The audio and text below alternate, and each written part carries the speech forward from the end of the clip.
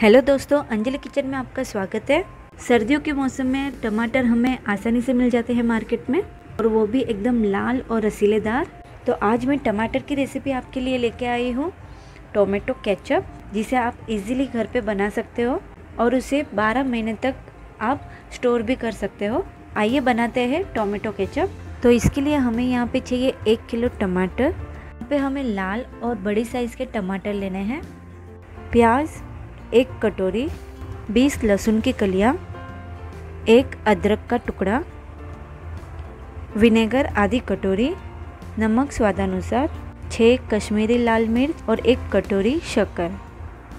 सबसे पहले कढ़ाई में टमाटर डाल देंगे। एक किलो टमाटर यहाँ पे लंबे काटे हुए हैं। टमाटर को हमें उबालना नहीं है, इसे कच्चा ही डालना है। इसमें हम डालेंगे प्याज, वो भी लंबे काटे हुए हैं। एक कटोरी लहसुन की बीस कलियाँ डाल देंगे। एक छोटा अदरक का टुकड़ा डालेंगे। शक्कर एक कटोरी लेंगे। ये सारी चीज़ें हमें माप से ही लेनी है और कश्मीरी लाल मिर्च छः डालेंगे।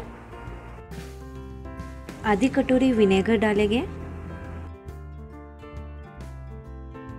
अभी इन सारी चीज़ों को अच्छे से मिला लेंगे। जब भी केचप बनाते हैं, तभी टमाटर को कच्चे ही ले जाते हैं और जब हम सॉस बनाते हैं, तभी टमाटर को उबाला जाता है।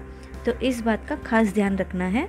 कैचअप में पानी का भाग एकदम से हटा दिया जाता है, क्योंकि इसे हम ज़्यादा टाइम के लिए स्टोर करके रखते हैं। अभी इसमें हम नमक डालेंगे। नमक हमें बहुत ही कम डालना है। यहाँ पे मैंने आधी चम्मच ही नमक डाली हुई है। आप चाहो तो नमक को स्किप भी कर सकते हो। अभी इन सारी चीज़ों को ढक के 30 मिनट के लिए पकने देना है। मध्यम आँच पे पकने देंगे। देखिए, अभी 15 मिनट हो चुके हैं। एक बार देख लेते हैं। टमाटर हमारे पक चुके हैं और 15 मिनट पकने देंगे, जिससे कि ये पानी का भाग एकदम से ख़त्म हो जाए। और 15 मिनट के बाद देखोगे तो ये देखिए, पानी का भाग एकदम से सूख गया है। टमाटर भी अच्छे से पक चुके हैं। शक्कर का पानी भी एकदम ख़त्म हो चुका है। तो अभी इसे हम ग्राइंड कर देते हैं।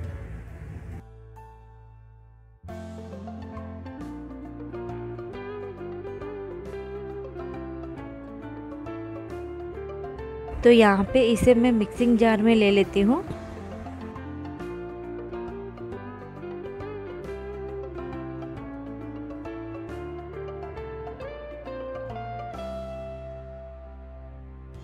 तो अभी मैं इसे ग्राइंड कर देती हूँ। पानी बिल्कुल भी नहीं डालेंगे। तो देखिए हमारा केचप तैयार है। इसे अब छन्नी की मदद से छान के एक बॉल में ले लेंगे। तो देखिए, एकदम डिलीशियस लालम लाल बाहर जैसा केचप बनके तैयार है। इसे आप 12 महीने तक स्टोर कर सकते हो। एकदम ताज़े, लाल टमाटर से हमने ये केचप तैयार किया है। इस केचप को आप एंजॉय कीजिए पराठे के साथ। डोसा, उत्तपम, इडली सैंडविच फ्रैंकी इन सब के साथ खाने में ये बहुत ही ज़्यादा टेस्टी लगते हैं। चलिए इसे सर्व कर देते हैं। तो कैसी लगी मेरी आज की रेसिपी मुझे कमेंट करके ज़रूर बताइए। मेरी ऐसी और डिलीशियस रेसिपी देखने के लिए देखते रहिए अंजलि किचन। मिलती हूँ और एक रेसिपी के साथ। तब तक के लिए बाय टेक केयर